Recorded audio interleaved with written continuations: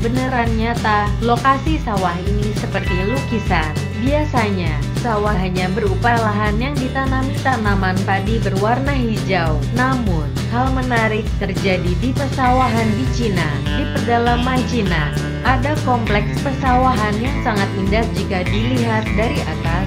Sawah yang berundak warna air dan tanaman padi yang cantik membuat siapa pun yang memandang seperti sedang melihat sebuah mahakarya lukisan Tuhan. Sawah ini memiliki warna dan pola yang sangat indah disebut tangga menuju surga. Ini karena undak-undaknya sangat tinggi, mencapai 2000 meter di atas permukaan laut.